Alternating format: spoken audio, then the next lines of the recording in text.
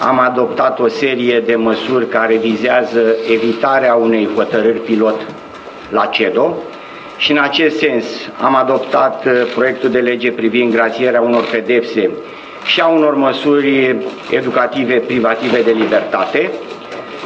Cea de uh, cel de-al doilea proiect de lege vizează lege pentru completarea legii 254 pe 2013 privind executarea pedepselor. Voi vorbi puțin despre fiecare lege în parte.